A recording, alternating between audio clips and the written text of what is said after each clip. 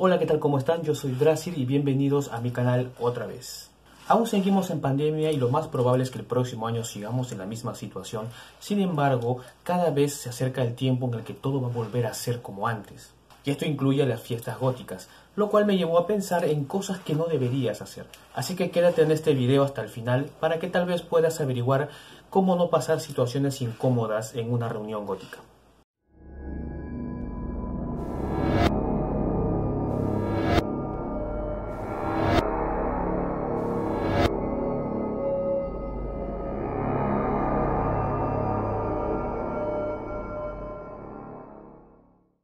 Antes de comenzar con algunas pautas, quisiera agradecerles el buen recibimiento que tuve con el video anterior. Muchas gracias por esperarme tanto tiempo y ya estoy aquí para quedarme. Quiero mandar un enorme saludo a un par de seguidores que me han estado preguntando cómo he estado. Ellos son Renato Prado y Natsu Dreis. Muchas gracias y espero que les guste el saludo. Aquí en Perú es muy común y seguramente como en el resto de países del mundo que hayan fiestas góticas. Ojo, no me estoy refiriendo a eventos ni festivales, sino simplemente fiestas o reuniones sociales. Sin embargo, muchas personas suelen desviarse un poco del tema de la reunión en sí y pasan un mal momento o suelen hacer que gente pase un mal rato por su culpa. Así que decidí hacer un listado de cosas que no deberías hacer o deberías evitar en una fiesta gótica. Ojo, quiero aclarar que esto es bajo mi perspectiva, es mi opinión. Si tú consideras que algo está mal, es tu opinión y me gustaría leerte en los comentarios. Bueno, sin más que decir, voy a mencionar algunas pautas que podrías seguir para que pases una noche mucho más tranquila y divertida. Primer punto, evitar maquillarte mucho o usar mucha indumentaria. Vamos a dejar las cosas en claro. Estamos hablando de una fiesta, un evento social en una discoteca, no en un festival.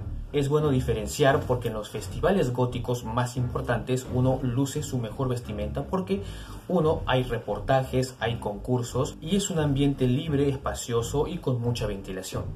En una fiesta no ocurre esto. Es un lugar cerrado, oscuro, nadie te ve y hace mucho calor a cierta hora de la madrugada. En ese sentido yo recomiendo que no usen tanto maquillaje o usen maquillajes de buena marca que no se te salga a plena noche porque como digo tú sudas mucho en estas reuniones y el maquillaje a cierta hora se te ve horrible. Por otro lado, yo aconsejo simplemente que usas una vestimenta bastante casual, algo bastante cómodo, para que puedas moverte al bailar o simplemente estés fresco durante toda la fiesta. Mucha gente se emociona al ponerse gabardinas, cosas de cuero, trajes bastante elaborados, cuando al final nadie te ve, simplemente estás ahí luciéndolo. Ojo, quiero decir que cada uno se puede vestir como quiere, solamente es una recomendación para que estés más cómodo en estas fiestas. Como les dije, aconsejo usar buen maquillaje, buenas marcas para que sea más permanente, para que te dure más y se vea bonito. Les cuento una experiencia, había una página en Facebook que se llamaba Gotixer y ahí ponían fotos de gente más o menos a las 3, 4 de la mañana cuando estaban muy ebrios y en serio las fotos evidenciaban mucho la falta de cultura estética que hay acá. Entonces, de cierta forma, te mostraba realmente cómo te ves dentro de una fiesta. ¿no? Es muy diferente a cómo entras y a cómo sales. Bueno, solo es un consejo o lo tomas o lo dejas, pero es una recomendación. Como segundo punto está pretender hablar de música o de filosofía inapropiadamente. Vamos a ser claros, uno puede ser muy conocedor de temas góticos, pero a una fiesta uno va a divertirse y a relajarse. Hablar un poco de todo, pero no tan profundamente.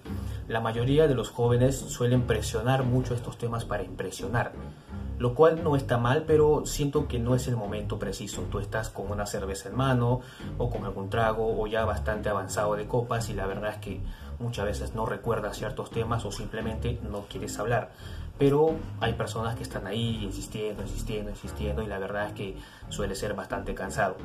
Más aún cuando ya estás adentro de la fiesta y la música no te deja escuchar y simplemente estás como que... Ah, eh, Suele pasar, yo he caído en eso cuando recién empecé y después estuve del otro lado y realmente es incómodo porque muchas veces la persona está bien informada pero de memoria y tú realmente no recuerdas muchas cosas en ese momento, has ido a divertirte después de una larga semana de trabajo. Tener esto en consideración para los góticos más jóvenes, hay momentos en los cuales compartir y debatir ideas, pero en una fiesta creo que no es lo apropiado. El siguiente punto es no hablar mal de otros góticos ni de otras tribus urbanas o subculturas. Los góticos tenemos como filosofía vive y deja vivir, vive en paz y no critiques a nadie, todos somos iguales. En ese sentido es muy incómodo escuchar chismes sobre otras personas, que tal persona me cae mal, que esta persona me hizo esto, que él se viste muy mal, que él no es auténtico, en serio, a mí esos temas me aburren y no me interesan lo más mínimo. Las enemistades entre grupos, rivalidades y estas cosas son cosas que preferiría sacar de mi rutina fiestera. Por otro lado, hablar mal de otras subculturas es totalmente inapropiado porque tú no las conoces, no has vivido ahí y si has salido de ahí seguramente no eres objetivo por algún tema de rencor por el cual saliste. Así que no es un tema muy interesante ni siquiera muy cómodo en una fiesta. Evítenlo, una fiesta es para divertirse, relajarse y pasarla bien, no para estar hablando mal de otros. Otro punto importante es no ser racista ni prejuicioso. Dentro de la escena gótica, al igual que en el resto del mundo, existen personas gays, transexuales, personas de color, de otra raza, de otros tamaños, y eso es totalmente normal. Todos somos iguales y todas las personas merecemos el mismo respeto. Eso no es parte de la filosofía y del entendimiento gótico en general, así que las personas que hacen esto para mí tienen mucho que aprender aún. Otro punto importante que está un poco al margen de la subcultura gótica es respetar las leyes y normas del establecimiento en donde estás. Cada local tiene distintas reglas, algunos son un poco más drásticos y otros son más flexibles en cuanto a sus normas. Sin embargo, es bueno siempre conocerlas y saber qué cosas puedes o no hacer. En algunos locales no puedes fumar, no puedes hacer escándalos ni protagonizar alguna pelea. Entonces, para que no te saquen de estos locales y realmente tengas que pasar una mala noche, es mejor conocer las normas y seguirlas. Respeta las normas, pues. Les cuento una experiencia. Una vez yo estaba en una fiesta y me puse celoso molesto por alguna razón y rompí la puerta del baño sin querer. Sí. Acto siguiente se me acercó el personal de seguridad y me dijo que tenía que salir, que ya no podía entrar.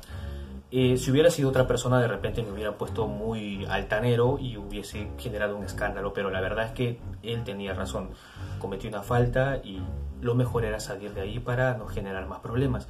Salí, no me dejaron entrar y la verdad es que supongo que ya han pasado muchos años, ni siquiera se acordarán de mí. Saludos.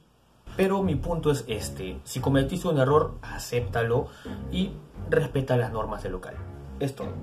Como último punto y uno de los más importantes que seguramente nadie respeta y nadie lo va a hacer, es no te embriagues mucho porque uno, atentas contra tu salud y segundo, atentas contra tu propia integridad. ¿Quién sabe qué te pueda pasar saliendo de ahí? Muchas veces dicen, ah, estaba bebiendo y aparecí en mi cama. Wow, ¿tú sabes qué te hicieron antes de eso? ¿Mm?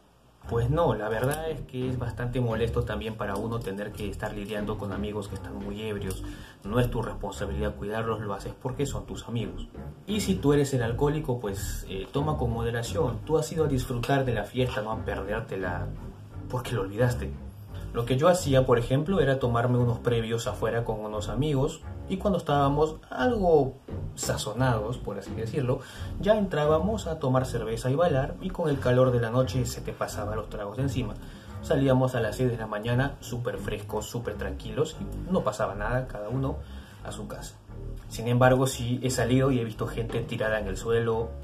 No quiero saber si estaban muertos o no, pero estaban así, otros eh, se iban entre dos o tres sujetándose porque no podían sostenerse a sí mismos y bueno, qué mal ejemplo para las demás personas y qué mal por ti, ¿no?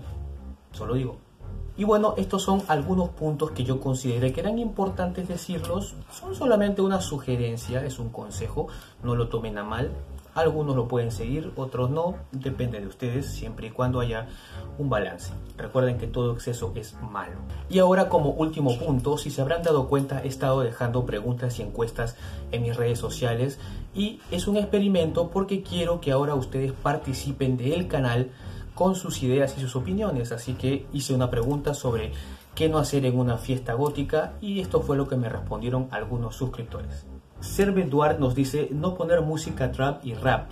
Bueno, creo que eso es bastante obvio. Son fiestas góticas y no suelen poner esa clase de música. Sin embargo, sin embargo, sí recuerdo que a ciertas horas de la madrugada o en la mañana, para votar gente ponen música bastante rara para que ya la gente se vaya yendo.